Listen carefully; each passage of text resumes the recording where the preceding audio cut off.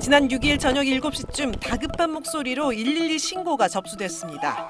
출동한 경찰은 부산 해운대구의 한 아파트 안에서 떡이 목에 걸려 입술이 파랗게 질리고 축 늘어진 90대 A 씨를 발견했습니다. 즉시 하임리히법을 실시한 경찰. 잠시 후 A 씨는 음식물을 토해냈습니다.